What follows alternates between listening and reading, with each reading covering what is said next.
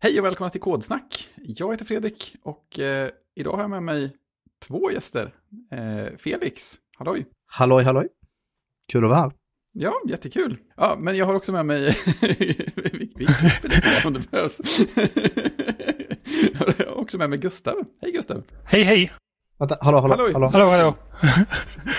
Nej, den bara bytte mikrofon mitt i min, in, Ja, i min ja presentation.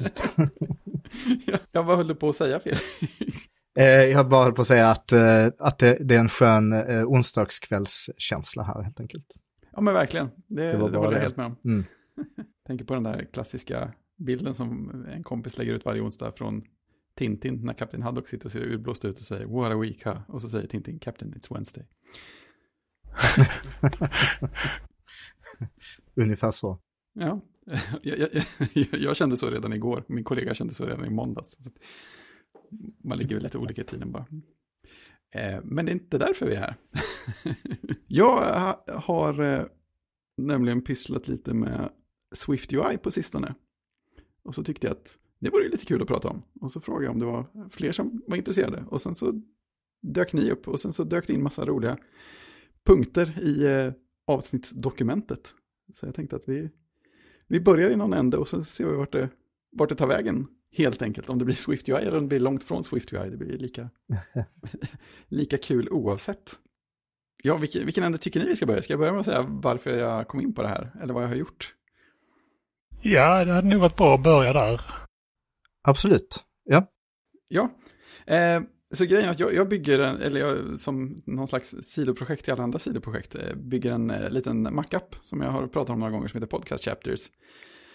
Som är ja, men, väldigt så här enkel och rakt på sak, rent gränssnittsmässigt. Det är ju det som är intressant i just det här sammanhanget. Den är ju byggd med gamla, eh, hederliga, höll jag på att säga, men med AppKit. Och med både eh, urgamla layout-systemet som det känns som Mac OS GUI-appar eller Coco-appar haft sedan forntiden med, vad kallar de det, Springs and Struts. Eh, Mm. sätt att göra layout där man, ja men du, du säger för varje komponent, ja, man placerar ut den för det första i princip pixel precis och sen säger man med Springs and Struts hur den ska förändras när utrymmet runt omkring förändras, när fönstret byter storlek. Så om man har en, en spring så säger man att här fjädrar det. Så det här, det här om det är knappens bredd kan fjädra när, när fönstret blir bredare. Eller att eh, avståndet mellan knappens kant och fönsterkanten kan fjädra till exempel. Och en, en strut är ju då att här är det fast. Så att den här kanske ska ligga på fast avstånd Mm. ifrån överkant och vänsterkant av fönstret. Och sen så ska den fjädra i bredd och kanske fjädra i avstånd till nederkanten av fönstret. Och då ligger den still uppe. Så. Eh, det är sånt här Mm. system som jag tycker har fördelen att det, det går att tänka på och för, förstå vad som händer. Eh, men det är ju inte direkt modernt och flexibelt. Det krävs ju lite jobb för att göra flexibla saker och sådär. Så att Apple tyckte inte det var tillräckligt, utan de kom ju för ganska många år sedan nu med ett annat layout-system som hette Auto Layout.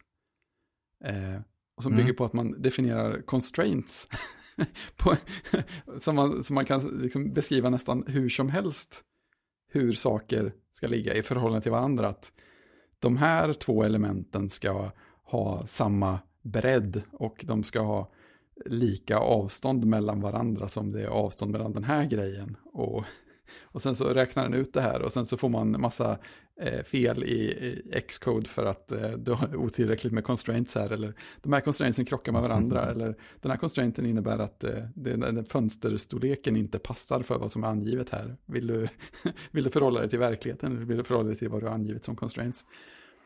Eh, som det kanske hörs så är jag inte jättestor. Jag har aldrig liksom blivit helt vän med autolayout. Nej, men jag minns när det kom, jag var väldigt, väldigt entusiastisk. eh, mm. Ehm, det bygger ju på, precis som eh, väldigt mycket som Apple har gjort, så bygger det på teknologi från Xerox och Smalltalk-världen. Ehm, Mm. och en algoritm som, eh, alltså det, det var kanske, jag kan inte riktigt säga när den, men det var, det var ganska mycket, alltså mycket av Smalltalk eh, handlade ju om att koppla ihop eh, olika grafiska objekt då. Eller rättare sagt objekt Ja, som har en grafisk det. representation och just kunna göra sådana grejer som typ en mekanisk arm som rör sig och sånt. Så att um, Mm. så de gjorde mycket ja, forskning på algoritmer för att liksom lösa constraints-system i realtid och sånt där. Ja, och, så att det här var ju en av de mer, jag tror en av de senare generationerna eh, som algoritmen hette Cassowary. Och eh, Mm. eftersom jag tyckte sånt var väldigt häftigt så var jag väldigt eh, entusiastisk när eh, Apple lanserade det här.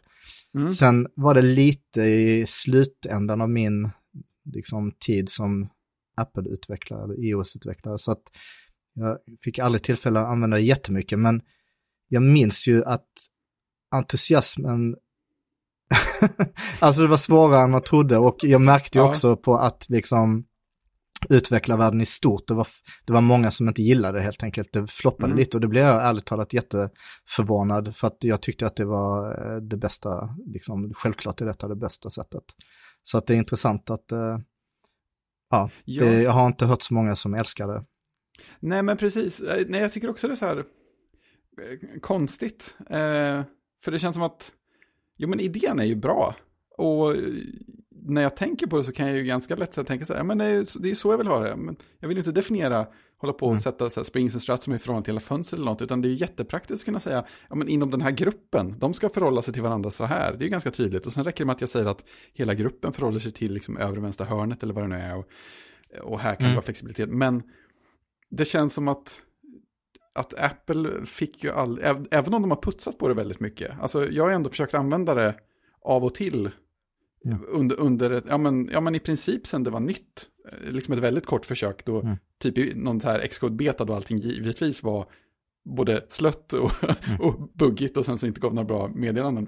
Men och sen framåt, det har blivit bättre och tydligare och så, men det känns aldrig som att de riktigt har hittat en lösning för det som, som gör det riktigt så här tydligt vad som pågår och, och lätt, och, lätt att hantera. För att, jag menar nu för tiden så har man ju, det är ganska lätt att sätta upp constraints, så man kan hitta en del bra videos som visar så här, ja men här är hur jag jobbar med constraints och liksom tänker på det. Och, och följer man någons tänk som har tänkt ut hur de ska göra, då blir det ganska, då blir det ganska mycket lättare och det blir ganska bra. Men man måste ju ha det där att någon har hittat på ett tänk, för annars blir det obegripligt. Och sen så gör man på ett annat sätt en gång, Mm. sen plötsligt har man ja, men, orimligt många constraints eller en constraint för lite och vet inte varför och så lägger den på en constraint och sen så ändras, in, ändras Mm. inte bildens storlek som den ska.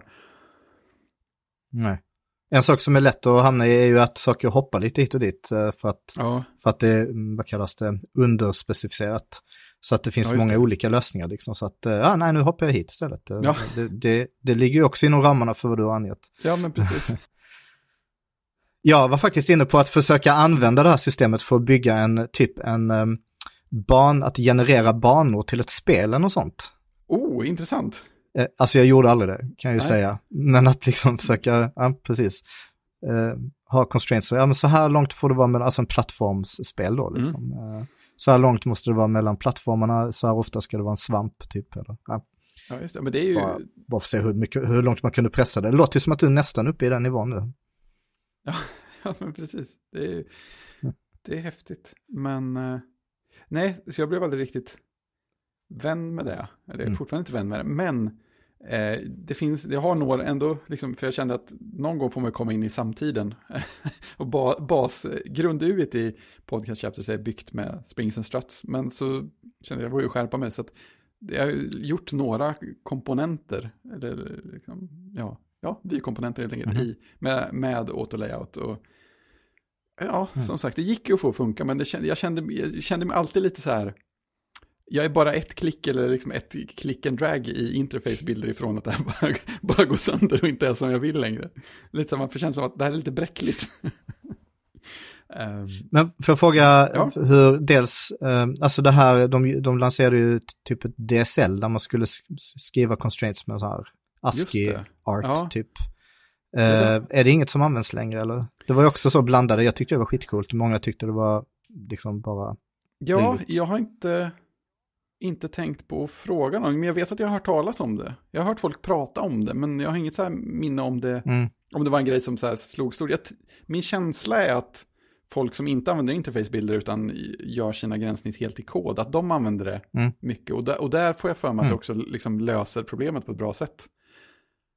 För jag menar, Mm. är man ändå inne och skriver kod så får man ju då, då dyker det inte upp någon constraint till plötsligt för en. Så att, då ligger man nog rätt bra till tänker jag. Nej, nej, precis. Mm. Mm. Det, bara en annan sido. Okay, bara, det var ju några som försökte ta hela den här grejen och lansera som det liksom typ den nya ersättningen för CSS. Jag kommer inte riktigt ihåg vad de kallade det nu. Det var liksom del, alltså. delvis, men att de, ja alltså de tog samma algoritm då, Cassowary, och så skulle man definiera sin webbsida på samma sätt och så skulle de på något sätt kompilera ner det till constraints, eller hur de nu gjorde det exakt. inte- Eller Ja. nej, det var nog en JavaScript-motor i det hela. Ja. Ehm, ganska coolt. Sen försökte de göra någon sorts produkt av det, att det var någon sorts AI, jag vet inte. Men ja, så jag gillade det också, men, men ja. Ja. jag är inte säker på att det löser ett problem att definiera sin webbsida med constraints. men, men, men det kan vara jag som har för dålig fantasi, det ska jag villigt erkänna. Nej, eh, men eh, sen för, det, det är väl ett år, nej, ett år sedan, två år sedan är det. Så lanserade Apple eh, Swift UI. Som, är, som ett nytt Mm ett nytt sätt, ett nytt ramverk för att bygga gränssnitt i Swift. Eh, och det var väl något som folk hade förutspått skulle komma i någon form. Eh, alltså ett eh, Swift native sätt att bygga gränssnitt. För det var ju inte... Det var väl en period där Swift var ganska mycket det folk skrev kod i, men att det inte var jättesmidigt att interagera med gränssnitten, för de kunde fortfarande inte beskrivas i Swift på ett bra sätt. Eh, nej men, och Swift UI tilltalade mig ju ganska direkt för att det var ju inte autolayout.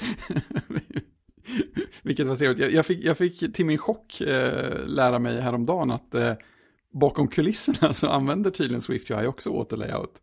Men eh, de, dölj, de döljer det ju på ett bra sätt. Och den personen som på något sätt hade fått veta det genom att, tror jag, prata med Apple-ingenjörer på VVDC förra året. Eh, Den personen fick starkt intryck av att eh, jo, det är så, men man ska inte tänka på det och vi, vi eh, hoppas kunna byta ut det förr eller senare. Man ska, man ska liksom inte använda någon Mm. kunskap som, som man kan få av att veta att det är autolayout. Eh, men, Mm. Men Swift UI, jag vet inte vad, vad, vad, vad layout, den sortens layout kallas, men det kä- känns ju mycket mer flexibelt eh, och anpassningsbart. Och det är en stor del av grejen. Att man, ska, man kan använda det för att designa gränssnitt som eh, mycket lättare på, på webbaktigt sätt. Skulle jag väl vilja säga. Eftersom jag har skrivit mer webb än någonting annat. Eh, som anpassar sig efter jag menar, fönsterstorlekar som ändras och enhetsstorlekar och sådär. Det, det, är inte, det är inte poängen att man ska kunna skriva ett gränssnitt som automatiskt skalar till eh, från klocka till eh, telefon till iPad till eh, en Mac. Men, men det går att göra och det går att å, å, framförallt att återanvända tänket väldigt mycket. Eh, Nej, men jag tänkte bara fråga, så Swift UI, hur mycket, alltså det som jag själv eh, liksom har noterat mest och som jag också skrev något om där, det är mer det här med dataflödet och bindningar och sånt.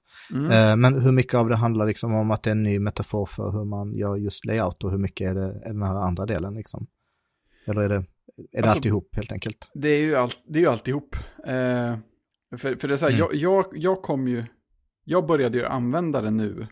Eh, vad ska man säga, började från rent eh, layout-håll.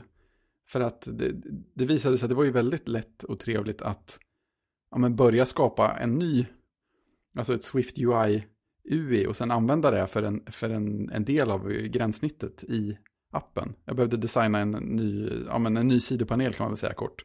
Och det var ju väldigt smidigt att börja göra en, att göra en eh, Swift UI-vy och låta den hantera sin data. Och sen så har en, en controller som bara skickar in det ifrån resten av världen som ska visas upp där.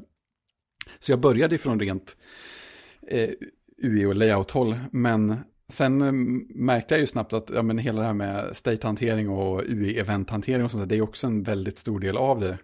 Eh, det finns ju en, ett helt universum där eh, med ett ramverk som kallas för Combine.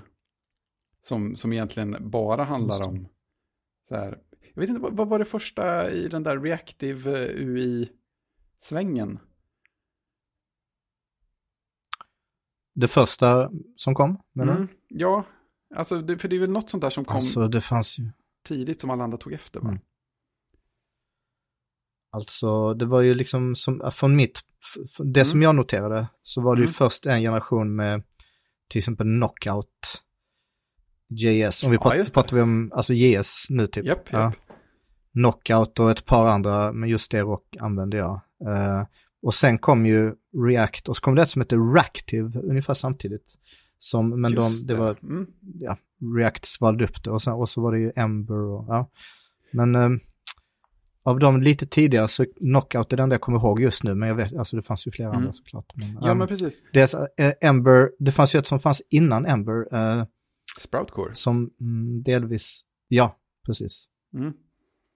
Ja, men precis. Det, just det. det, det använde jag en stund. Det, det hade bra idéer, men inte så jättemycket dokumentation. eh, Mm. nej, men, nej, men grejen var att det, fann, alltså, det fanns ju, ja men det där som hette Reactive UI eller något sånt där, som kom ungefär samtidigt som React. Mm. Eh, det kom ju en hel serie med sådana ramverk som alltså inte handlade så mycket om UIT i sig, men mer om att eh, så här, hantera events och dataflöden som typ strömmar. Eller strömmar av events och sånt där. Mm. Och det gör det här, det här Combine. Så, så Combine-ramverket är till för att hantera sina dataflöden i Swift UI när det till exempel kommer events från knappar eller när sådana här observerbara objekt, alla knockout eller något annat, när de uppdateras så kan man använda Combine-lösningar för att liksom hantera de eventsen och skicka dem vidare eller modifiera dem. Eh, vilket jag inte har Mm. hunnit sätta mig in i så mycket nu. Så att det var lite så här, jag, försökte, jag vet inte, det var någonting jag försökte uppdatera och liksom bara ändra state-objektet och det gick inget bra. Och sen så var det så här, ja men då kan du använda Combine för att, och så var det liksom fem rader som först såg ut som svart magi för att inte påminna om något av det andra jag hade skrivit. Men, eh, Men en sak som, alltså apropå eh, ut, liksom historien Mm. bakåt här, eh, det, det är ju den stora skiljelinjen är väl när man började använda Shadow DOM. Eh, ja just det. liksom i fråga om att, att det blev mer, alltså att, att, att det faktiskt klarade att hantera komplexa, alltså stora domar och sådär. Och Ja, jag, rätta mig om jag har fel, men är det inte så att Combine gör någonting liknande, det är inte en, inte en dom liksom, men att den också har en, eh, att den diffar liksom Jo, trädet av element.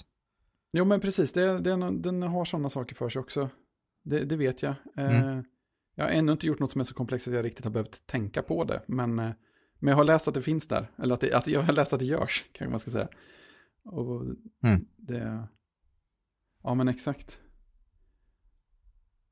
Och sen så har det ju... Jag, jag tycker ju Swift UI är lite så här skumt också. För att det är ju... Man skriver ju Swift-kod. Och sen så får man så här fräck eh, live, live inom citationstecken. Uppdaterande vy av eh, hur gränssnittet man definierat ser ut. Eh, och de har ju lagt på ganska många saker i språket Swift för att man ska kunna skriva Swift UI på det sättet som man gör. Eh, vilket kanske på ett sätt kanske inte alls är konstigt. Men... Ja, men grejen var att de, eh, alltså Swift som språk utvecklas ju i en helt öppen process. Eh, sen, sen, sen, kom, sen släppte Apple Swift UI och sa de, hej, här är fyra nya saker som vi har implementerat i kompilatorn och så, men, men som inte har gått igenom standardiseringsprocessen än. Vi släpper dem nu istället. och sen gick de igenom standardprocessen efteråt, på något jättemärkligt vis. Mm. Eh, men de har, de har så lagt till ett gäng språkfeatures som... eh, Alltså, vad, vad är det de säger? De säger att Swift UI är typ DSL-likt, eller någonting sånt. Eh, och för att kunna skriva den här Swift UI DSLen, om man nu vill se det som ett sånt domänspecifikt Mhm. språk, på så liksom rent som, eh, som man ändå gör, så har de lagt till språkfeatures eh, som används i bakgrunden för att stödja det. Så att, eh, anledningen att man kan liksom göra så pass deklarativa vyer utan att behöva sk- skriva, eh, liksom slå in dem i andra konstruktioner och sånt där som man skulle behöva göra annars. eh, Jag måste nästan kolla. Jag tror, Mhm. jag tror Är det någon jag- sorts makroaktigt system alltså? Ja men typ, nu ska vi se, jag hade ju faktiskt en... Jo, de har, de har till exempel, de har en feature som heter eh, Result Builders. Eh, som, alltså det, det, jag, jag får ju också så här undran då och då, som, som kommande från eh, JavaScript-världen, hur mycket, hur mycket av alla, alla tricks de måste ta till med SwiftUI som, som kommer av att det är ett så, här, så pass hårt typat språk. För att de har lagt till features som gör att man inte behöver liksom skriva eh, att, att det som returneras ifrån den här vyn är typ any-typen, eller vad man nu eh, ska kalla det i andra språk. Alltså, mm. man säger, för, för alla liksom Swift UI-konstruktioner returnerar ju, eller har ju en body som är någon slags vy. Och innan Swift UI gick det inte att säga att eh, den här bara returnerar någonting som är, är kompatibelt med vy-protokollet. Det gick inte att skriva på det sättet som man gör i Swift UI. Så det var en sån feature, liksom de, de smög in i språket bakvägen för att kunna, för att kunna skriva Swift UI som de ville. Mm. Men nu, nu har de lagt till det, så nu, nu, nu, kan man det. Och det kan man tydligen ha till andra saker också. Men... Ja, jag blev faktiskt, jag gjorde ett litet uh, stöt förra året och pluggade Swift i en månad. Jag tänkte jag kanske skulle börja mm. lite mer med iOS igen, men det gjorde jag mm. aldrig. Men, uh, och nu, så nu minns jag inte alls på den nivån detaljer, men jag blev ändå lite förvånad att, alltså är det inte lite det som är poängen med protokoll, liksom att man ska kunna, ja, just deklarera en sån grej, eh, ha det som en typ liksom. Eh, alltså jag, jag, ja. jag, jag, tror absolut att du har rätt, jag bara blev liksom lite förvånad. Jo men, jo, men precis, alltså. Om jag hittar en. Nej, jag har hafsat bort mig. Jo, ja, men det, det känns lite så här eh, mystiskt. Och det känns också som att man ganska så snabbt glider ner i ganska djupa sådana här behov av att förstå språket och varför det är byggt som det är för att förstå varför man skriver vyerna mm. som man gör. Mm. För det är, det är mycket sådana här, och det är, det är väl en sån grej som de har putsat väldigt mycket på. Eh, för att det är ju fortfarande väldigt lätt att, sk att skriva saker. Eh, när, man, när man håller på att lära sig SwiftUI så blir det att man, ja, men jag provar att skriva det här och se, vad, se vad som händer ungefär. Ja, kan man göra så här? Och sen så får man ett jätteobegripligt eh, typfel. Det är mycket sånt i SwiftUI. Det var tydligen ännu mer så tidigare. Det är väl något de har putsat på ganska i ganska rask takt för att göra det bättre. Men det är fortfarande inte jättesvårt att få ganska svårbegripliga felmeddelanden. Som, som mm. egentligen betyder att det är, det är fel typ på någonting. Eller, eh, och, så, då, då får man lite känslan att jag måste hitta den magiska rätta, rätta grejen att skriva. Så här, jaha, det här ska inte vara en state-variabel, det här ska vara en bindable-variabel, eller ett observable object, eller ett observed mm. object. ett sånt. Eh, man halkar väl in på spåret också att eh, som jag har hört många prata om i iOS-relaterade poddar och så att eh, Apples dokumentation är inte världsbäst längre. Så att eh, det stället som jag hittar alla, känns, känns det som alla svar och alla bra exempel är ju hackingwithswift.com och eh, Swift by Sundell. Mm. för, de har liksom eh, både så korta exempel och eh, artiklar som förklarar hur liksom den här grejen i Swift och Swift UI funkar och sådär. Mm. Medan Apples dokumentation släpar efter. Liksom, den, här, ja, ja. den här klassen, den finns. Ja, det, alltså det, om det är någonting jag minns från min tid som iOS-utvecklare var just den här känslan av att, eh, ja men liksom, att det kom väldigt mycket förändringar väldigt snabbt liksom. Varje ny ja, OS-version så var det massa nya eh, saker att sätta sig in i och att det, man märker att mycket av det är liksom, mycket styrs ju av, eh, av eh, liksom en behov av att introducera API som inte konkurrenter har, försöka få folk att utveckla saker för iOS först och ja, just det. Eh, allt möjligt sånt. Mm. Precis, och sen eh, och att eh, ja, ibland så blir det inte så polerat. Nej, men precis. Och dokumentationen hinns inte riktigt med. Vilket är Nej. Tråkigt. Men det är tur att det finns så många andra där ute som kastar sig ner i och listar ut hur det faktiskt funkar. annars annars hade ja, det varit precis. Men vi, hur var det nu? Vi hade lite olika... Gustav hade också hållit på med helt andra eh, Just det. ramverk. Jag har varit lite tyst där för ni har liksom pratat väldigt mycket om Apple och eh, iOS och webbsammanhang. Mm.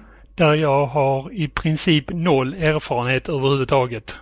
Ja, precis. Du slängde in Um. andra fräcka associationer. Ja, precis. Jag, jag kommer mer från, eh, vad kan vi kalla det, Windows. Um, Mm. Cross-plattform-stacken, om man kan, Mm. kan kalla det så. Och jag bara liksom lite håller på eh, av, eh, jag vet inte, av nödvändighet doppar tårna i liksom React-sammanhang. Mm. Mhm. Det ju... Så jag har liksom mer följt Mi- Microsofts bana genom hela den här eh. UI-träsket. Ja, för det har jag nästan ingen koll på känner jag. Och det låter liksom, det, om jag liksom tolkar vad vi och ni har snackat om lite här om eh, ramverk, så låter Mm. det lite som om det följer ungefär Microsofts eh, väg. Nu är jag ju liksom ingen expert och så, men, eh, men det låter precis som att eh, en av de första ramverken var väldigt mycket som eh, um, C-sharp och deras WinForms. Mm. Det vill säga eh, kanske lite, till, lite också VB, hur, hur du strukturerar GUI till VB. Det vill säga du ritar ut en eh, dialog och så. Uh, I WinForms är det liksom att du ska koppla denna till, vad är det, nord och syd eller någonting. Ja, just det, just det. Och då Mm. skalar den eh, beroende på hur du eh, ändrar om storleken på fönstret. Ja, det låter ju ganska likt ja. Ja. Och sen liksom eh, kom det i, i, i VPF ehm, började de lite mer att nu ska vi åtminstone, du, du kan göra likadant i VPF också med eh, attacha till borders. Mm. Men i Ja. VPF kom också, vill jag åtminstone minnas, Mm. Ehm, nu är jag ingen VPF-programmerare. och så. eh, så det, detta är, det kan också vara helt fel, men i, i, när vi började med VPF åtminstone, då började vi med att nu skriver vi deklarativt i, i XML eftersom det är Microsoft. Just det. Mm. Eh, så då skriver, bygger vi hela ljudet, eller i XML istället.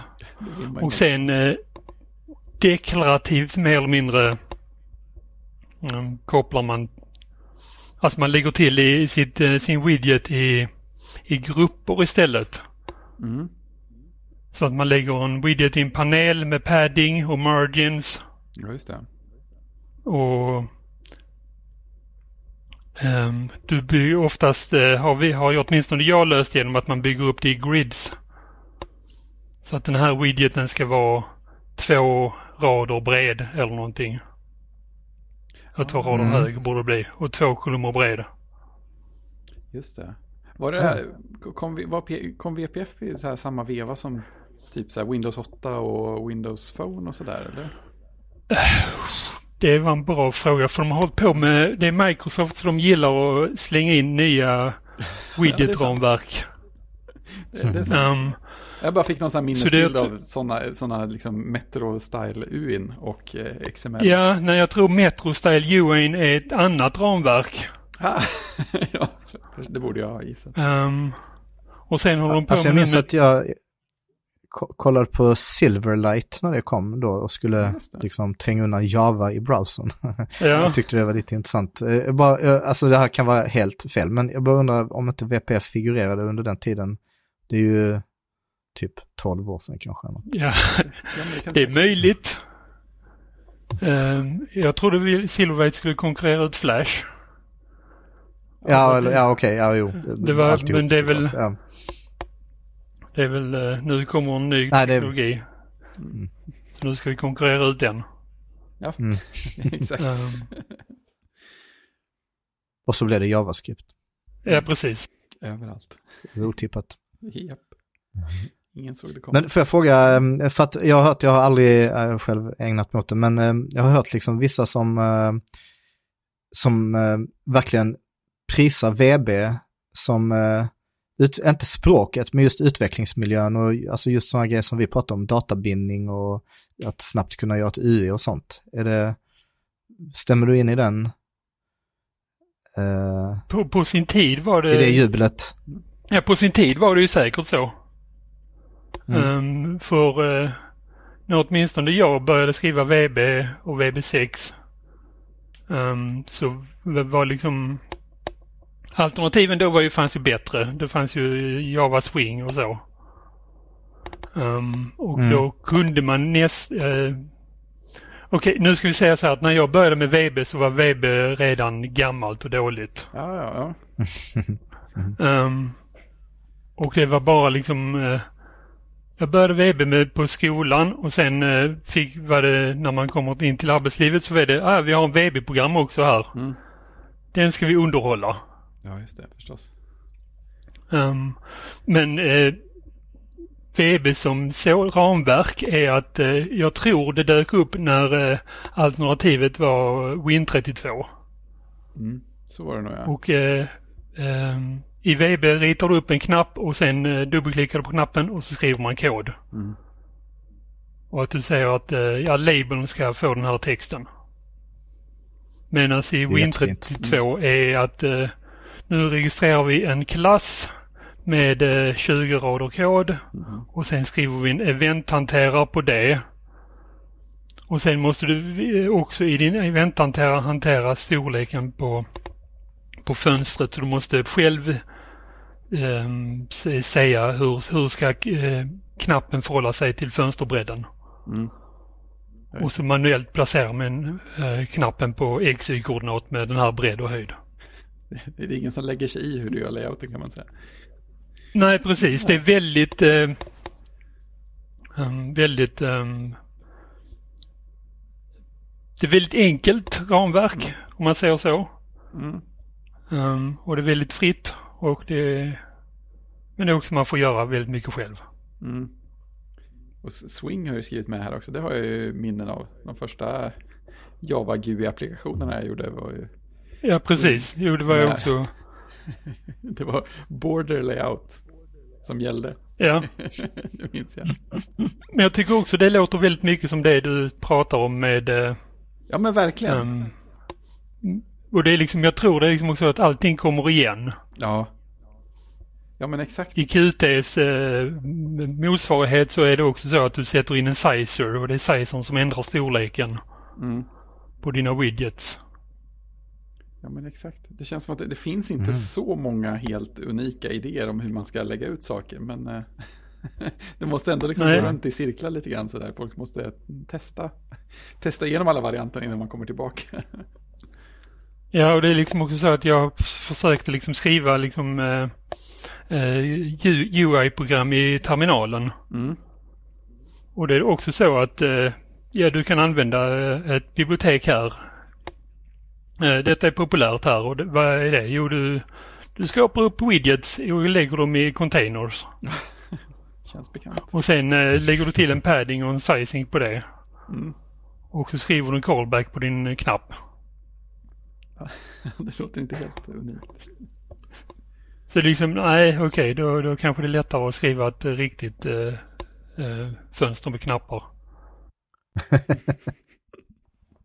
Men en, en annan fråga som jag tänker på är hur mycket av allt detta som också har varit uh, väldigt uh, förknippat med liksom, objektorientering. Och jag vet inte om det är, uh, Swift är ju objektorienterat men lite mm. mindre. om det är också, ja men alltså att det känns som att väldigt många av de här um, metoderna hängde ihop med att man hade en hel vision, alltså inte minst från Smalltalk då kanske, men såklart många olika komponenter, men att man liksom, ja, man hade en viss vision om hur objektorientering skulle funka och hur då också grafiska gränssnitt skulle byggas med objekt liksom. Ja. Det lämpar sig väldigt väl, om inte annat. Ja, men precis. Om man faktiskt ska gå på, eh, om man faktiskt ska gå vägen till med där man faktiskt bygger upp sitt GUI. Mm. Och inte beskriver det på ett annat sätt. Och det, det, det, det är lite um, React och de eh, liknar mer tycker jag åtminstone. Du menar bygger upp det, menar du bygger upp det liksom grafiskt? Alltså, eller nej, både grafiskt och inte grafiskt tänker jag att mm -hmm.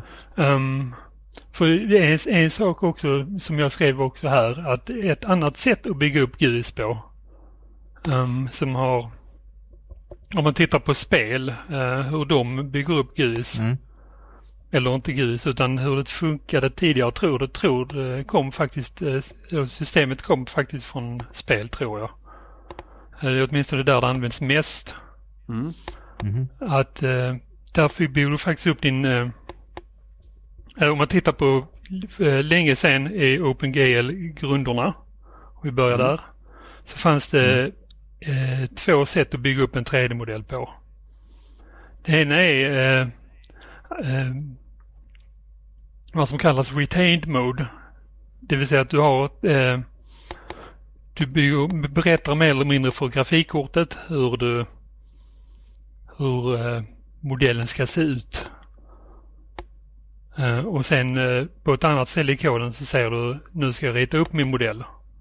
Just det. Och eh, det kopplas väldigt mycket till hur du bygger upp UI. Att på ett ställe säger du så här ska min, mitt UI se ut. Um, du ritar det i någon, något program eller någonting. Sätter upp dina sizers och liksom säger att nu, här ska jag ha en knapp och knappen ska anropa koden. Och på ett annat ställe i koden så har du din eh, eventhanterare för knappen. Ja, just det. Eh, men eh, ett alternativ till det på OpenGL-sidan finns Immediate Mode. Där du direkt säger att nu vill jag rita. Och jag vill rita trianglar. Och här är en punkt, här är en punkt och här är en punkt. Och då får man en triangel. Just det. Saker händer Och så fort eh, skriver det... Precis, och så dyker det upp ungefär eh, där man ritar det. Eller där man anropar funktionen. Mm. Eh, nackdelen med det på, i OpenGL är att det går väldigt långsamt. Så det vill man inte göra. Men ur det så dök det här API upp. Att det är ett immediate mode, det vill säga att eh, jag anropar det direkt. Och då dök det upp, eh, jag tror det var runt 2005 kan det komma. Att eh, då började de presentera immediate mode GUIs istället. Mhm. Där du i, i, eh, om vi antar att em, vi kör en uppdateringsloop en gång i, eller 60 gånger i sekunden. Mm. Och så i den här uppdateringsloopen så anropar vi funktion, eller om, om vi anropar en funktion som heter knapp. Då ritar vi ut en knapp. Och anropar vi inte funktionen så ritar vi inte ut en knapp. Ja, just det. Och då om vi säger som så att eh, om vi skickar med ett ID till den här funktionen, den här, eh, den här knappen är knapp A. Så kan eh, systemet då eh, säga till dig att den här knappen klickades, den här framen. Mm. Och då blir det som så att då blir det på sätt och vis ett deklarativt UI också. Ja, just det. Och då har du också kommit ifrån objektorienteringen. Och då har du också egentligen eh, eh, sluppit hela state-hanteringen som f- sker också på, i GUI-kod. Ja, just det. Så det blir någon slags deklarativ. Det blir deklarativt och sen kommer du också det är ju nackdelen med det kan man ju tol- tolka det som att du har ju all data som du behöver i ditt eh, UI. I din egen kod. Ja, just det. Om det, om det det vill säga att du kan i, egentligen kan du ha ett heltal och sen kan du bara göra en for loop och eh, få upp eh, så många knappar som du behöver Ja, baserat på det heltalet till exempel. Just det. 60 gånger i sekunden. Förutsatt att du skickar in ett vettigt ID. Ja, just det. Just det, du kan sänka din egen Och det gör ju att hela UI blir väldigt deklarativt och funktionellt eller procedurellt. Mm. Och då komponerbart med funktion, via funktioner istället. Ja, istället för en klass till exempel eller vad det nu är. Ja, just det. Det blir ju någon slags så här. Jag tycker det bitvis också påminner eh, hur eh, React fungerar. Ja, jag stod och tänkte det. Att det känns. Det känns ju relaterat. Att, ja, men du, får, du, får liksom, du har bara en callback. Ja. Varje gång du ropar ut så sätter du ett state och sen kommer det att komma nästa gång du, du ritar. Men jag vet inte hur det kopplar till Elm och så också. Ja, det är ju spännande. För där är det mer funktionellt och där finns det inget state som det, man kan ha till exempel i React eller i, på några andra ställen. Eh, nej, precis. Oj, nu låter det konstigt här kanske. Ja, en sak jag tänkte på bara på det där med spelutveckling är en annan grej ju som eh, och, och, och objektorientering och så är ju att eh, nu, alltså det här är ju bara sånt som jag läst lite här och där. Det är inte Ja. så att jag jobbar med det här eller så. så att, men det verkar ju som jag har förstått det har man ju gradvis gått ifrån en, ja, alltså liksom det verkar så intuitivt bra eh, med en objektorienterad, alltså liksom en spelvärld är liksom, man har saker, Ja, karaktärer som rör sig och svärd och blixtar och Precis. sådana grejer som, och de är ju bokstavligt talat objekt på skärmen liksom, så att det verkar ju helt givet att man vill modellera det som med objektorientering liksom, i C++ och att man har en hierarki av liksom, ja, det finns personer och det finns saker och inte vet jag, eh, du vet, det kan vara mat eller vapen eller, men att eh, de ganska, att de, eh, det blev, alltså de, att det blev ett jättestort problem, att det var så eh, oflexibelt att jobba med de här objekthierarkierna eller klasshierarkierna. Så att eh, jag vet inte riktigt vilka som gick i fronten för det och vilken ordning allting hände och så, men eh, att man ju i, i, som jag uppfattat det i stort i spelvärlden har gått ifrån det helt och hållet nästan och att en entitet är i stort sett bara ett ID. Eh, det är det enda så att ljudsystemet, grafiksystemet och logiken och allting, det enda de vet är att det är ett ID och sen så gör de sin egen grej helt separerat från varandra liksom. Ja, Eh, ja, och att man åtminstone i den meningen har gått ifrån det här liksom objektmetaforen som det överordnad princip. Mm. Entity Component eh, System tror jag det heter. Ja, ja precis. det var- Jo, det stämmer. Eh, nu kan jag preface eller börja med att säga att jag är heller ingen spelutvecklare. En Ehm, Spelutvecklare får gärna höra av sig och vara med i nästa avsnitt. Ja, Ja, ehm, men det stämmer eh, bitvis åtminstone skulle jag vilja säga. Ehm, det kommer, det är både ehm, det finns ju Internet Component Sy- System som du säger. Men det Mm. finns ju det också det finns ju mycket annat än bara eh, gubbar som går omkring på skärmen. Eh, och, drakar som går omkring på skärmen. nej, Men eh, vad... Ehm, med allt runt om skulle jag säga. mm. Ehm, eh, så, och det är inte, det är inte som så att eh, det, det, det är mer eller mindre hur du representerar gubben på skärmen är, har ändrats. Men bara för att eh,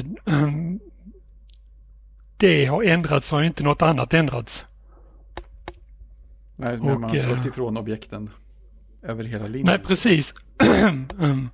Och eh, det är också, jag ska säga hur man bäst förklarar på ett eh, enkelt sätt. Det är tvådelat egentligen det här eh, Entity Component System eh, tanken med det. Det. Ena tanken är ju eh, eh, performance Mm. och eh, hur en dator är uppbyggd och hur, eh, hur eh, en gubbe representeras. Jo, om vi säger att vi har en gubbe. Mm. Vi kan ta, det finns två problem. Det ena är performance och det andra är strukturellt. Ja, just det. Om vi säger att vi har en gubbe, det, det ärver från eh, basklassen objekt. Och gubben har en hälsa. Um, och sen eh, kan man gå omkring och skjuta och sen eh, kommer vi fram till en dörr. Dörren är, har också basklassen objekt. Och eh, vi vill skjuta på dörren tills den går sönder. Och eh, då har den också en hälsa. Och då har man plötsligt problem då att eh, gubben och eh, dörren har en hälsa. Så då kommer man, eh, får man det då som en objektorienterad, en objektorienterad programmerare. Eh, då vill man ju refaktorera det så att både eh, det liksom hamnar i basklassen. Så då kanske man gör något destroyable objekt och låter båda dem ärva från Mhm. eh, eh, b- låter både gubben och eh, dörren ärva från destroyable Object.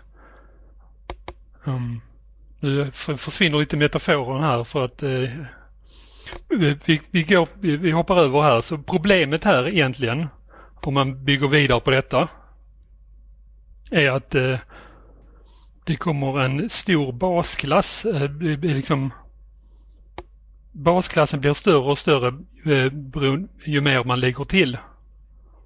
Eh, ju mer, eh, eller, mer krav som dyker upp. Um, så, och eh, det kommer också eh, eh, det kommer vad, vad som kallas feta basklasser. Um, det, är, vä- det är väldigt dålig förklaring här. Um, Ja, men jag tror det, alltså det är liksom alla de här problemen med, alltså att man får en klasshierarki där man, man kanske kommer på senare att, alltså att man kanske snabbt, eller precis det du beskriver, att man så fort två saker har samma attribut eller liknande så tänker man, oh, de måste ärva från samma sak. Ja, just det. Eh. Och så, så abstraherar man för tidigt och sen så man upptäcker att någonting är ute i en gren ska ha någonting som någonting ute i en annan gren så blir det plötsligt väldigt svårt att flytta runt saker liksom, och komponera, svårt att komponera beteenden. Liksom. Även om väl multipelt arv i C++ ska väl liksom i teorin underlätta det, men man hamnar väl ändå i samma Ja, och det är väldigt mycket också att eh, arv i dagsläget är inte lika häftigt som det var eh, i, innan. Nej, eller hur? Nej men det som jag tycker, anledningen till att jag tycker just det här är så intressant är att det ändå för mig känns som att det var folk som var väldigt, liksom de lever i C++ och de hade ingen, det var liksom, jag vet inte, det var inte bara någon sån här trendighet att, de, att alla helt plötsligt ville göra funktions, funktionell programmering, utan att det verkligen drevs av eh, att, att, att det var ett väldigt eh, liksom klumpigt sätt att jobba, att de verkligen upptäckte begränsningarna av det, lite, delvis i alla fall oberoende av mer så här, jag vet inte, teoretiska diskussioner liksom, att de verkligen sprang in i väggar och började luckra upp det Ja, för att få det- mer gjort liksom. Ja, precis. Men det är också, man får tänka på att det har med, det är två, två stycken, Att det är prestanda också. ja det är prestandan också och prestandan är ju Mm. också eh, det är ju mer, det finns ett eh, bra tak eh, som vi kan länka till av Mike Acton. Det var länge sedan jag såg det. Jag har för mig att han går igenom detta. Mm. Att, Mm. att det, och det är ju liksom på, på en helt annan nivå än en hobbyprogrammerare eh, är på. Så därför då får de faktiskt prestandaproblem. När de har en, eh, en klassisk objekthierarki. Just det. Ja, jag kan tänka mig att det har mycket att göra med att försöka undvika eh, alltså att man inte behöver de- deallokera minne och sånt utan försöka bara återanvända samma. Det har också att göra med kanske. cache-missar. Ja, just det. Ja, ja, ja. Mm. Att eh, när du eh, har eh, ehm, har eh, många objekt av samma sak så kan Mm. du göra samma operation på dem istället för att eh, gå igenom en eh, klasshierarki och göra samma operation ja. på nästan likadana objekt. Mm. Och då blir det väldigt mycket cache-missar och eh, um, pekar-issues kanske man Mm. kan kalla det. Ja, intressant. Ja. Men ja, nu, nu, det slog mig här nu eh, på den här eh, eh, speldiskussionen om Entity Component System att det finns ju ehm, jag kommer inte på vad killen heter men han har, han har skrivit en texteditor. Och de, de, de är JavaScript, eller eh, elektronbaserad ska vi säga. Ja. Ehm, och han pratade väldigt mycket om eh, eh, entity, entity, entity Component Systems och UI faktiskt. Mm. Ja, ja. Mm. Och eh, hur, hur han byggde upp sin texteditor. Ehm, kan det heta Light Table? Det finns en som heter Lighttable, det vet Ja, jag. ja. Ja, precis. Jag tror det var... Ja, ja, just det. Han, eh, han, ja, han är intressant, jag kommer inte ihåg vad han hette nu heller. Men han hade ett annat projekt sen som hette eh, Eve. Eh, som var ett helt programmeringssystem. Liksom. Det var ganska... Eh, det var väldigt intressant. det var, man påminner lite om Elm på vissa sätt också. Ja, Man, fast ännu mer far out skulle jag vilja påstå. Hur man definierade sina eh, liksom UI och, och animationer som dataflöden och sådär. ja. Men Chris det, Ranger. just det. Det projektet är nedlagt. ja tråkigt. Men jag tyckte, alltså, lite grann det här med Entity Component Systems. Eh, eh, alltså en sak som jag tycker är intressant det är bara just det här med att, eh, alltså hur, hur dominerande objektorienteringen var. Och inte minst inom liksom widgetsystem och program, eh, grafikprogrammering. Och att det verkade så uppenbart och självklart liksom under lång tid att det var det bästa sättet och kanske det enda sättet. Eh, och hur lång tid det kan ta att vända Ja. eh, för skutan att vända. Inte så att jag säger att eh, ingen mer kommer att använda objektorientering, men att man, att, att ens liksom börja se på saker från en annan synvinkel kan vara svårt när man är mitt inne i en epok. Liksom. Ja, men verkligen. Alltså, ja. Det, är- det är lite så intressant också, för det är inte som att det är inte som att mängden datorkraft har minskat under tiden heller. Eh, så jag är lite nyfiken på vad det var som gjorde att att inte det funktionella eh, kom in och blev stort tidigare på något sätt.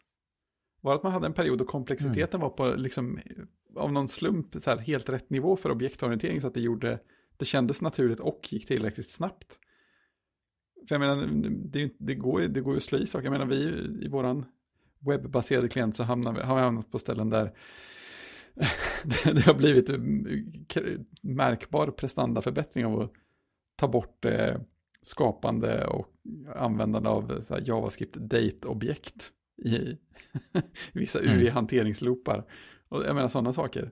Eh, man har fått en annan sorts prestandabehov som gör att objekten visar sig mindre praktiska eller man gör mer, komple- mer och mer komplexa saker snabbare än eh, UI-hanteringen blir, blir snabbare. Jag vet, inte vad, Mm. jag vet inte vad jag försöker säga riktigt, men, men det, det slutar med ett frågetecken i alla fall. Mm, intressant. Nej, men det är alltså en väldigt stort argument mot eh, till exempel funktionella språk har ju varit länge att det inte, att det inte är lika bra prestanda. Eh, alltså inte, alltså fram till för kanske inte vet jag, tio år sedan eller sånt i alla fall. Ja, Eh, som ju är intressant, samtidigt, samtidigt så liksom har liksom Perl och POP och Ruby och alla möjliga språk liksom kunnat eh, ja precis. ta över stora delar av världen liksom. Ja, men det var inte på prestandan de gjorde det. det kan... Nej, men alltså- precis. men, men hade funktionella språk faktiskt lägre prestanda då? Och har de kommit ikapp sen då? Eller vad?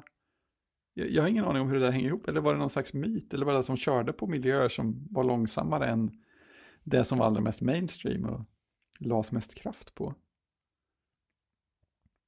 Hmm. Nej, jag tror att det ganska mycket antagligen var en myt. Alltså om man tänker på O'Camel till exempel har ju haft Mm. det som, eh, och, och ja, ML kanske överhuvudtaget som, ehm, har ju haft det som ett starkt fokus hela tiden. Mm. Eh, Haskell har väl mer, kanske, de kanske sköt eller liksom inte försökte begränsas av det, men efterhand så har det ju blivit, alltså jag vet inte, argumentet på andra sidan är väl att man i och med Alltså att språket ger vissa garantier kan göra mycket mer aggressiva optimeringar. Och det vet, det vet jag åtminstone att det stämmer för Elm. Mm. Eh, att, man kan, att, att den kompilatorn kan optimera saker på ett sätt som är svårt med, med andra språk och miljöer. Liksom. Ja, Men eh, ja, nej, ja. Ja, för, för, du, för du sa ju, eller vi- visst var det du som sa när vi började prata om ämnet här att Swift UI har inspirerats mycket av Elm, var det så? ja, absolut. Precis, det var ju min lilla, min lilla vinkel. Ja, så hur... Sen vet jag inte exakt det.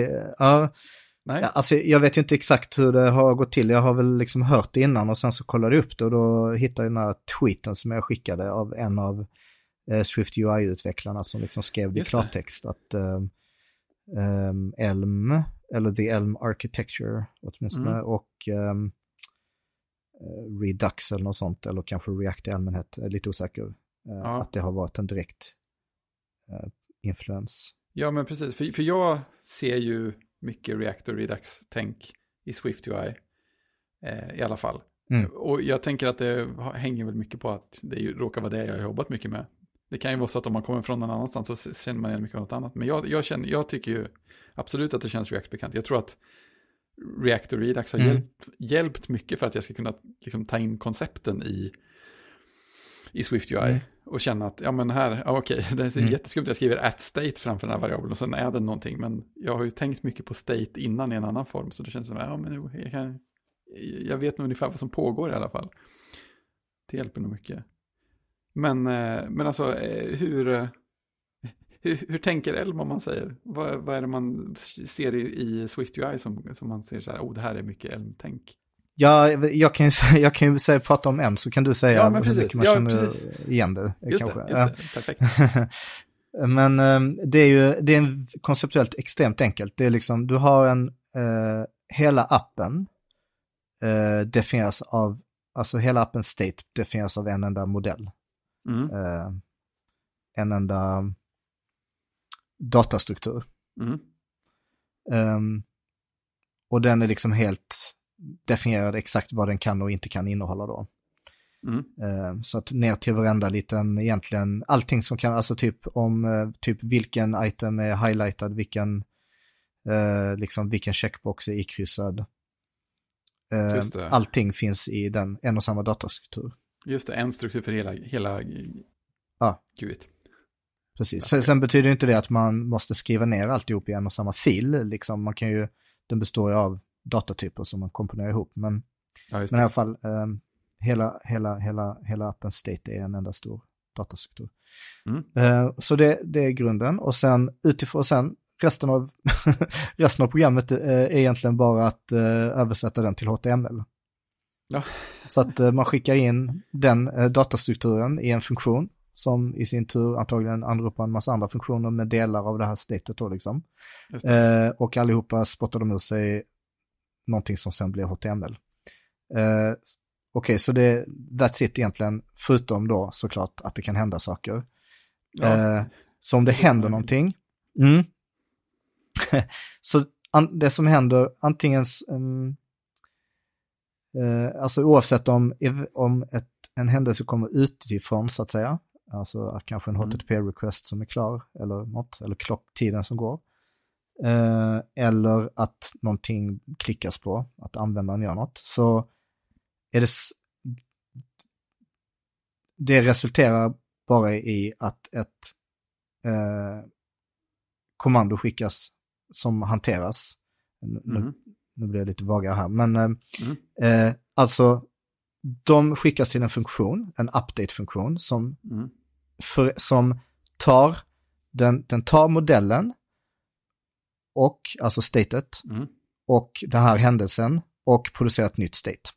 Just det. Som, och det nya statet är såklart också eh, eh, en variant av den här eh, datastrukturen som jag pratade om innan. Och, eh, och så skickas den nya strukturen då in i, i eh, vy-funktionen igen.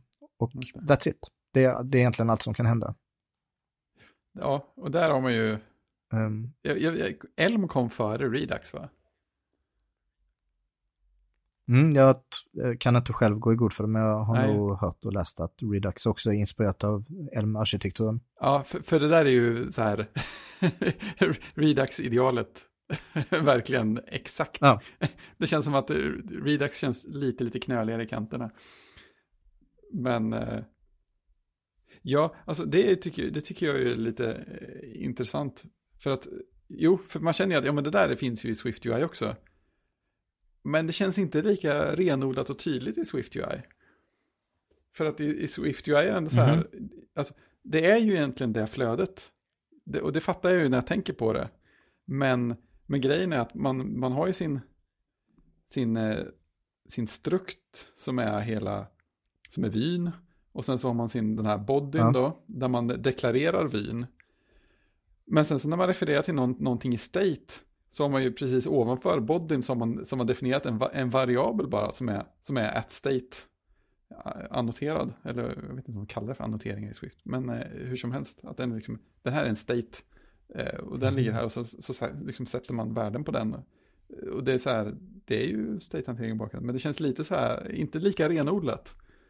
Speciellt inte när man kommer då till sådana här observed objects och sånt som där man eh, liksom måste märka upp och observera properties på dem för att få uppdateringar. Och det, är, det är ju lite grann åt det här knockout databindningshållet också samtidigt på något sätt. Mm. Precis, alltså det är precis, alltså en sak som, eller om jag förstår det rätt så är det att de lite grann försöker, det här kanske är helt fel, men att de lite grann försöker ge känslan av att det finns något liksom lokalt state ändå som, som Ja, liksom hör hemma på ett visst... Ja men absolut. Mm. Alltså man har ju någon slags... Och, och, och, och, så, och så är det ju också. Det är ju i, i den strukten för den här Swift UI-vyn så har jag ju lokalt state. Och det är liksom at state-markerat. Och ja, Mm. visst, det, det är ju lokalt där. Och man kan skicka in, det är också så här lite, det känns som att det är li, något, någon liten magi för mycket där. För att man kan, man kan ju samtidigt när man skapar sin Swift UI-vy så kan man ju skicka in state utifrån. Eh, och då kan, det, och då kan det Ja. sättas, och då tror jag att man egentligen ska använda en annan annotering på det. För att at state är något som har definierats Aha. här. Som, ja, det är väl att ja, men den här vyn äger det här statet. Eh, ja, så det är väl logiskt. Men någonting som Ja. kommer in utifrån tror jag bara ska vara en vanlig variabel. Det är lite som att det skulle vara en, en, en prop i React.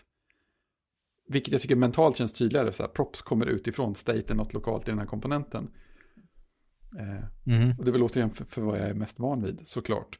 Men sen är det också så att det är en annan annotering ytterligare inblandad om jag i, min första Swift UI-vy har en undervy och skickar ner state, någonting som är state här till den.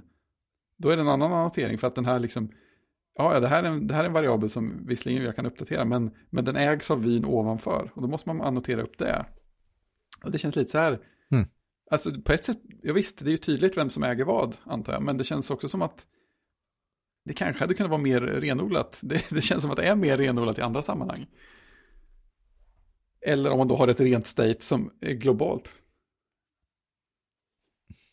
Så jag, jag tycker verkligen att det är befriande enkelt i, i Elm just att man Ja, helt och hållet, alltså det, det, fast det, man känner att det sitter ganska djupt, men att man liksom Mm. tvingas bort från att tänka i komponenter. Eh, och just den här liksom känslan av att, åh men det här är ju en, här, det här är ju en sak och den har sitt state liksom. Ehm, Mm. det, det är liksom två helt, eh, det är två helt olika saker. Att det finns ett state någonstans och att det ska representeras på skärmen. Det är två helt olika saker. Li- Lite Ja, kanske gå tillbaka till det här med entity component system, att man lite samma uppenbarelse. Ja, Att just man, det, det åh, är men sant. bara för att de här två har, liksom, har någonting med varandra att göra så, så betyder det inte att de är, att de är en sak liksom tillsammans, utan eh, så att man liksom, ja, man, om man ska, visa, man ska visa något på skärmen, man kanske skriver en funktion och sen kanske man delar upp den i tre och sen kanske man, alltså man kan göra precis vad som helst och välja hur mycket state man måste skicka vidare till nästa. mm. Men det gör inte att det på något sätt är en komponent liksom. Och det aktivt också, vad ska man säga, motarbetas ja. i Elm eh, ekosystemet att på något sätt börja tänka i komponenter. Vilket, det. ja, låter ointuitivt, men för mig, ja nej, jag tycker det är, det är väldigt befriande att, att allt, det finns bara data, dataflöde i en riktning. Det kan liksom aldrig, Mm. det kan aldrig studsa massa state hit och dit mellan olika saker liksom. Nej, men För det precis. finns inga saker. Precis, nej, nej exakt, det finns inga saker. Nej, men jag menar, för, det, för den där grejen har man ju i, i React också. Och de som är mer, vad ska man säga, ledande i tänket hur man vill lägga upp det och sådär har ju dragit mer och mer mot att, ja men du vill ha så få ja, men komponenter, det- kallar man det ju där, i, som, som håller state själva. Eh, Mm. Menar, de har ju, nu kommer jag inte ihåg vad de kallar det, men de, de, det finns ju många som pratar i termer av två sorters komponenter. De som bara är visar upp eh, props, alltså saker som kommer utifrån, uppifrån Mm. och inte håller något eget state alls. Och de komponenter som är någon slags eh, liksom fetare komponenter som, som, som han, hanterar state själva. Så, att, så det är på något sätt, mm. de vill ju också dra det åt det hållet, men frestelsen är ju alltid stor att lagra lite lokal state också för att det blir lite bekvämare. man, man, får lite hastighet just där i stunden i att jag behöver liksom inte upp och vända någon annanstans. Mm. För, för det har man ju, när man, när man drar in Redux eller något liknande i, i React, då, då mm. får man ju där, då kan du hålla det lika rent som i Elm. Och, och det är ju väldigt trevligt. Men eh, om, jag, om jag lyssnar på vad du säger om, om Elm så känner jag ju att när man ska göra det i Redux så måste man gå ut och putta på själv mer och oftare. För att det ska hända. Det, det är ändå ett visst jobb att upprätthålla det här. Du får skriva lite mer kod runt omkring hela tiden för att det ska flyta. Och det gör att det känns lite långsammare mm. att uh, hålla allting i Redux-statet.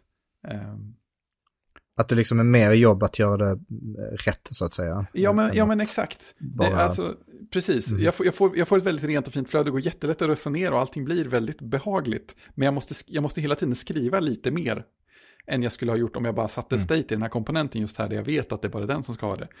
Fast jag då sen naturligtvis kommer på att det här ska uppåt också och sådär. Så att, så att för jag har gjort, jag har två ganska närbesläktade små React-appar på jobbet. Där den ena är eh, Kaos React med, med mycket lokalt state på olika ställen. Både för att det var liksom första större... Är det en, eh, är det en teknisk term eh, som används mycket inom JavaScript? jag, jag känner Chaos att det React. borde, det borde nog vara det i alla fall. eh, nej men, nej men och den, den, alltså den har ju ett en, den har ju en typ av state-hanteringsflöde, men den har också mycket lokalt state i komponenterna och, och sådär. Och dels var det första reak större reaktorn vi skrev och sådär, så, så det finns många anledningar till att den är så mm. kaotisk. Mm. Eh, men sen har vi den andra som, är, som jag skrev senare och som är verkligen ren Redux och verkligen följer ett sånt flöde, precis som Elm, hela vägen.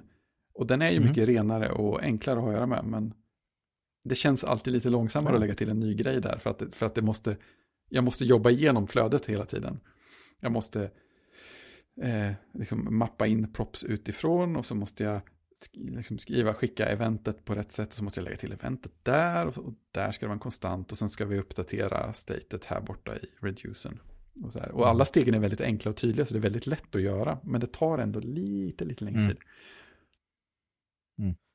Men, men, känns det för dig vid det här laget då som att Swift UI är lite mer åt kaos-hållet? Eh, eller att man, eller i alla fall att man, att det är lite samma dilemma, att det är lite mer jobb att göra det rent. Eh, påminner om ja. React på det sättet, eller känner du att det är mer styrt liksom? Nej, jag känner nog att det är mindre, mindre styrt. Jag, jag, jag känner att jag, om, om, jag bygger, om jag bygger en större app så skulle jag nog kunna få det att bli ganska kaotiskt. Eh, om jag inte själv liksom tar mig kragen lite och ser till att strukturera upp det. Eh, jag, jag, tror att mm. min känsla, för, grejen är att jag, jag har byggt några stycken vyer eh, inuti min existerande app med SwiftUI. Eh, så jag har inte gjort något jättestort, men det är, det är ändå, ändå tillräckligt mycket för att det ska vara UI i flera nivåer och just sådana flöden där, eh, ja men här genererar vi UI mm. för ja, men en array av saker och sen så uppdaterar man saker och då ska man uppdatera state och någonting som är inuti ett av elementen i arrayen. Liksom sådana där lite klassiska problem. Och det, det känns som att det går att Eh, liksom hacka sig fram och fulknacka ihop det. Men mm. jag tror att det skulle bli ännu bättre om man tog sig i kragen och gjorde något som var mer elmaktigt i dataflödet. Men, men det är ingenting som automatiskt pushar en till det. Eh, så. Så det känns lite åt eh, Chaos React-hållet. man, man, kan göra det riktigt rent och snyggt, men man, man måste nog jobba lite själv då. Eh, jobba lite aktivt för det. Du, du halkar mm. inte in på att få den renaste lösningen automatiskt.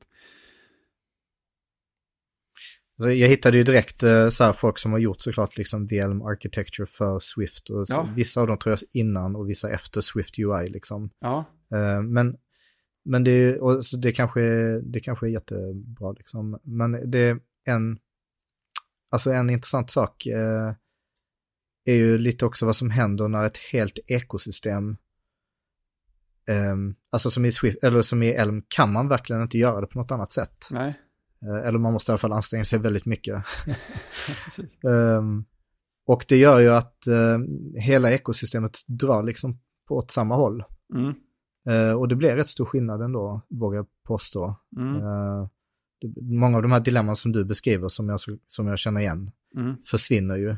För att Ja, det, ja, det är ett sätt, som är ett sätt som är det lättaste och sen är det klart ibland kan man känna att det är frustrerande eller så, men att det är i alla fall, eh, mm, ja, många av de här situationerna man måste välja mellan att göra det på ett lite snabbare sätt eller ett lite bättre. Och det blir inte samma konflikt om och om igen hela tiden. Alltså det blir det ju Nej. såklart ändå, det är ju alltid inbyggt i programmering, men Ja, är åtminstone en viss mängd av sådana beslut faller bort liksom. Ja, men jag, jag, kan, jag, jag kan lätt tänka mig att eh, någon som har erfarenhet av Elm och börjar skriva Swift UI kommer att skriva mycket, alltså renare och snyggare, jag höll på att säga bättre, men jag tänkte försöka vara lite tydligare, men mycket, mycket renare och tydligare, mer lättföljd och förmodligen mer buggfri kod än någon som kommer ifrån Apples eh, tidigare lösningar. Och det är klart, det finns ju en sida till av det där och det är ju att folk pratar ju rätt mycket om Swift UI som just någon slags UI-lösning. Eh, Allt det här med state-hantering och så kommer lite vid sidan av. Och det tänker jag, det måste ju vara till, Mm. alltså även, även om det, det, det går ju snabbt att hitta dokumentation om det också, men det man, när man tänker Swift UI så tänker man ju bygga grafiska gränssnitt för att visa upp min data. Man tänker inte datamodellering, dataflöde riktigt lika automatiskt, åtminstone gör inte jag det. Eh, Och, och det kan väl vara en nackdel, för, för då fokuserar jag på det, de liksom knapparna och eh, textfälten som visas, så tänker jag inte Mm. lika aktivt på, alltså vad innebär det här? Vad, vad borde vara ett bra dataflöde här? Det blir ju ändå sekundärt. Eh, Ibland får jag en känsla av, eh, eller det egentligen bygger bara på en sak, det är när de introducerar enums i Swift. Mm, Eller introducerar, men alltså när de byggde det så introducerade de ju abstrakta datatyper. Men de kallar det enum för att, eh, för att det är mer, eh, känns mer hemvant för, de, för många utvecklare. ja, Det är liksom just det. ett- vanligt begrepp. Men, i- men i och med att man kan ha rekursiva enum och sånt så är det i, i princip som en, eh, eller som en algebraisk datatyp. Eh, och det, det finns till och med någon sån diskussion på GitHub där de pratar om det. Äh, vi, vi kallar det bara enum för då kommer folk att då kommer inte folk tycka det är lika konstigt. Men så har vi ändå introducerat det här liksom centrala grejen från funktionsprogrammering.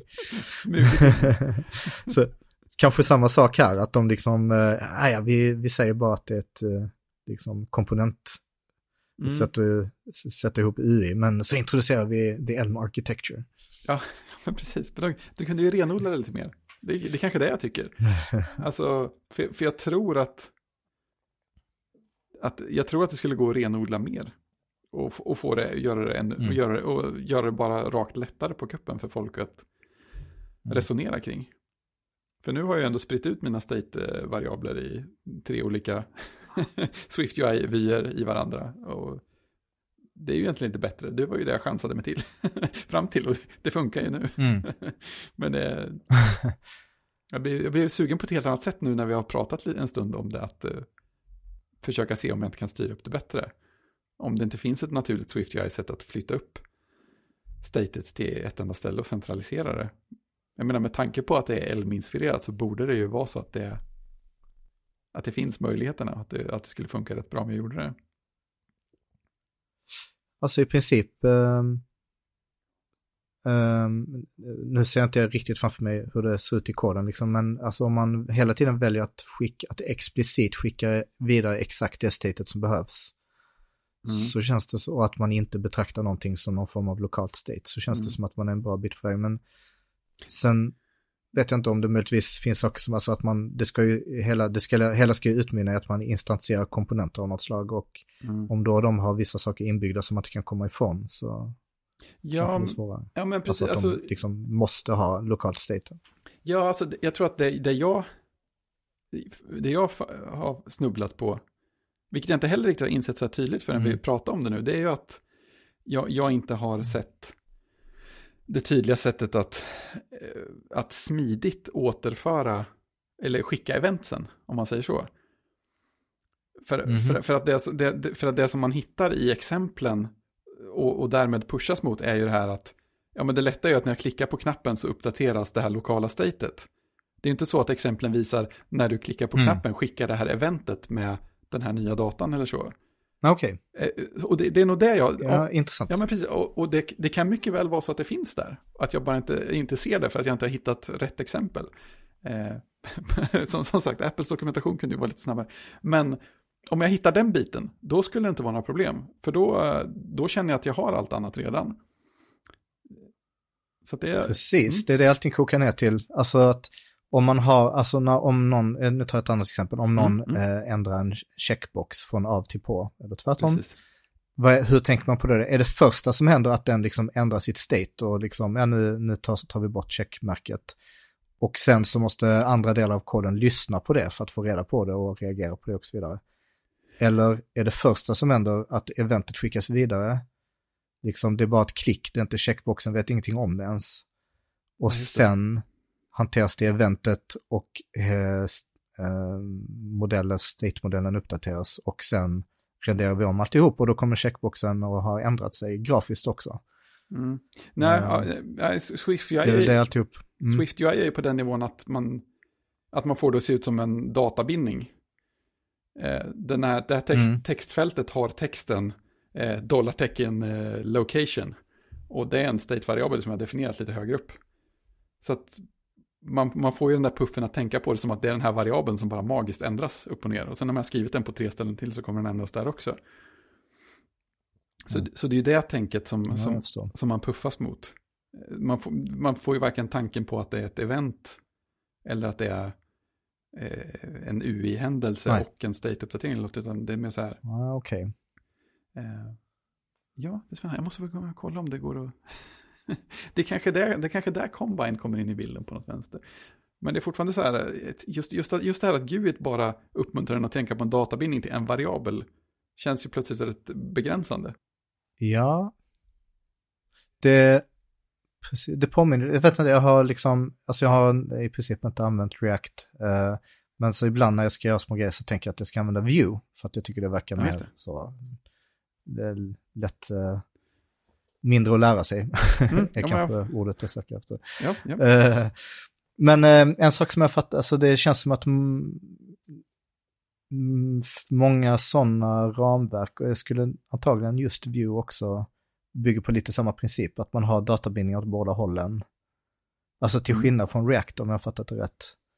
Uh, ja, och så jag tänkte man... lite på det häromdagen, just att jag egentligen inte gillar just den grejen så mycket. Eller i alla fall nu så har jag blivit mer frälst på det här. Informationen kan alltid bara flöda åt ett håll liksom. Ja, ja men det känns som att Ja, det kanske inte alltid är naturligt. Man måste kanske jobba lite grann för att tänka, tänka sig in i det några gånger. Men när man väl har fått dit det så känns det som att allt blir så mycket rakare och enklare. Det är roligt för att första prototypen innan vi gjorde den här Chaos React-appen var faktiskt en prototyp mm. med knockout.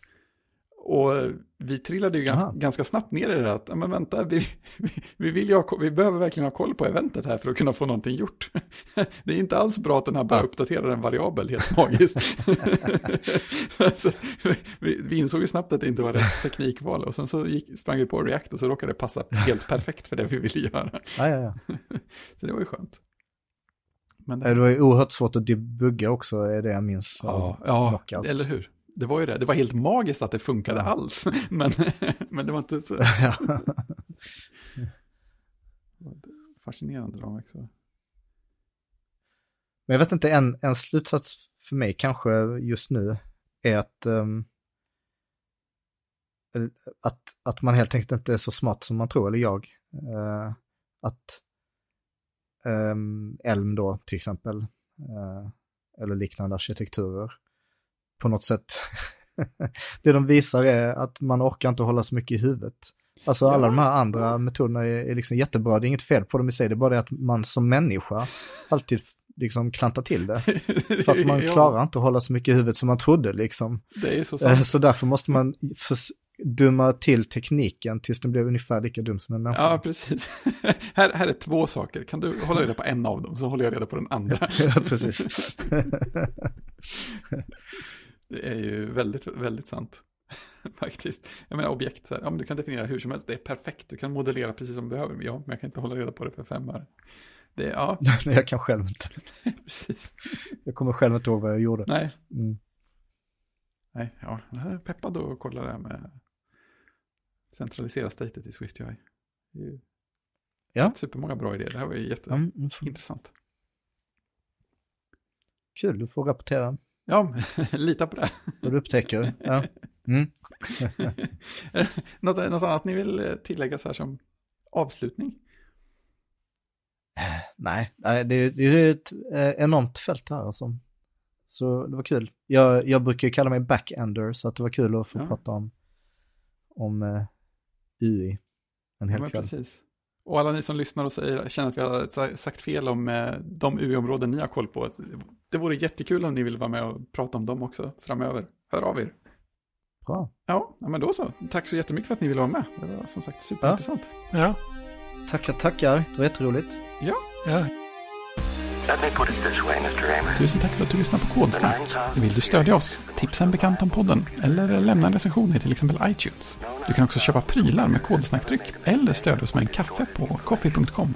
Alla länkar och alla avsnitt finns på kodsnack.se och vill du vara med i vår extremt trevliga Slack? Mejla info.kodsnack.se så skickar vi en inbjudan.